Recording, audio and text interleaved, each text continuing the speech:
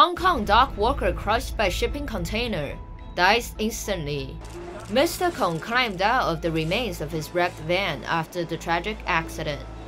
He recounted that the shipping containers fell off after the car was parked beside them. 59-year-old Peng Guoning was supposed to be on leave, but was forced to alter his schedule for personal reasons. He was at the rear end of the small van, assisting a crewman in adjusting the gantry cranes towering above cargo containers. Mr. Kong was at the front of the vehicle, in the driver's seat. It was supposed to be their final round for the night. 就其中一个货柜咧就砸落咗架货 van 嗰度咧，就将货 van 嘅左边车身就砸到扁晒。但系乘客嗰个助手嗰边咧，就因为嗰个成个货柜就系砸咗落嗰一边嘅，咁结果个乘客咧就当时系救出嚟嘅时候咧，就已经系证实因为伤重不治嘅啦。